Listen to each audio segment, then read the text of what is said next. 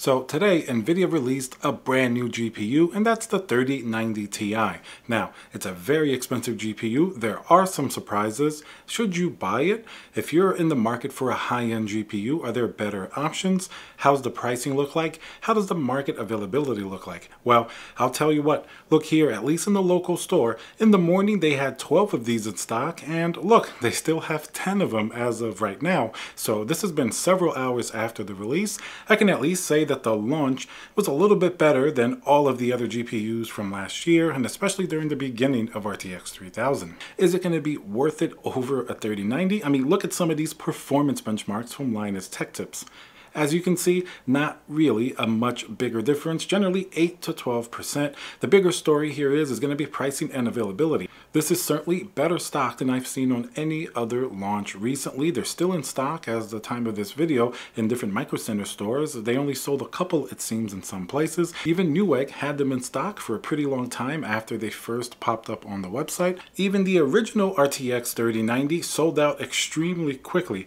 First, let's discuss the pricing of this GPU. The MSRP is 1,999. Now, you may be thinking that doesn't sound bad if you're looking at 3090s on the market right now, because most of them, honestly, are that price or more, especially if you're used to all of the terrible pricing we've seen in the last several months. Remember, the original 3090 was supposed to be 1499, but that's the Founders Edition, and things have changed since then. Most 3090s seem to fall somewhere between 2,000 to $2,200. So in a way, the 3090 Ti is kind of priced right at the retail price of the 3090. Now, previously, the 3090 was announced early January to release at the end of the month.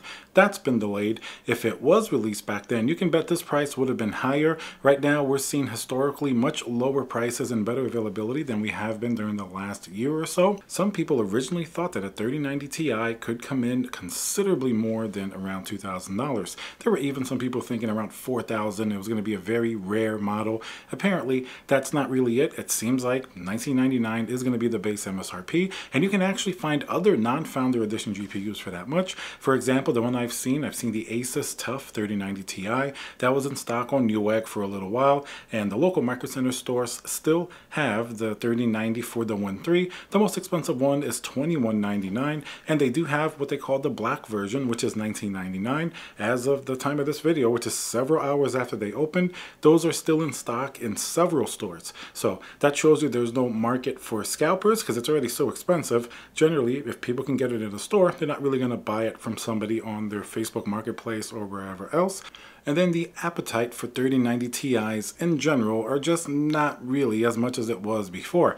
Previously, even 3090s at this price several weeks ago would sell instantly. I would never see it at my local store, for example, in stock for more than a few hours. Even if it was a 3090 Strix or FTW3, typically they would sell very, very fast. During the last two weeks or so, those same 3090s have stayed in stock more and more, and now the 3090 Ti, even though it's still roughly around the same price, price as those 3090s because remember none of them are $1,500 unless you get it from Best Buy the Founders Edition which by the way the Founders Edition 3090 which Best Buy will also sell you the Founders Edition. Um, it's not on right now it still says coming soon but it's also 1,099 the same price as the base models from EVGA and Asus etc so definitely very interesting to see this pricing. While it is very high for the performance that you get compared to $1,500, this is from Linus Tech Tips, their video that they did. I think these gaming benchmarks kind of illustrate the small performance increase that you're going to get on the 3090 Ti. Of course, a little bit faster memory, a little bit more CUDA cores.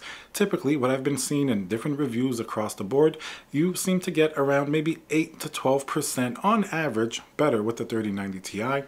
So most likely, even for very high-end gamers, it's probably not going to be worth that sort of bump. Even if you have a 3090 or 3080 Ti, you're only going to see probably roughly 10% better depending on the game. Now, even for content creation, it's going to be the same thing, a little bit better, but certainly if you want that big breakthrough in performance, most likely we're going to have to wait until the RTX 4000.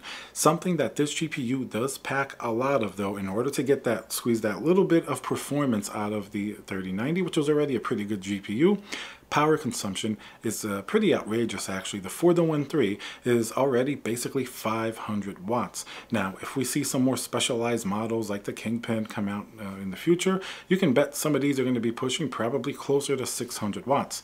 500 watts is definitely a lot. Now, NVIDIA recommends an 850 watt power supply, but let's be honest, if you're running like a 12900K and, you know, a lot of fans and components and sort of a 3090 Ti, 850 watts probably are really not going to cut it. You're going to need at least a thousand watt for a single GPU. That's what they really would recommend. And if you're going to be running even more power hungry components, you're probably going to need 1200 watts or more.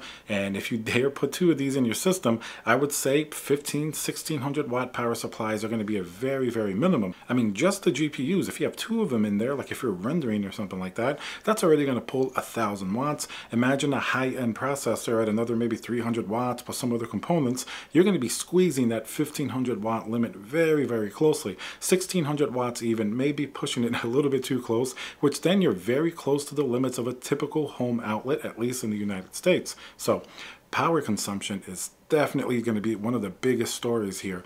The pricing stays high in terms of retail, but in terms of the general market, I think that's really what it should have been priced at. I had imagined before if this sort of GPU shortage was bad as it was before, we would have seen maybe 2400 maybe even 2999 during a really bad GPU shortage. But it seems like things having let up a little bit with better pricing and availability of most other GPUs have bought this price considerably lower than I think NVIDIA typically would have wanted to raise it to.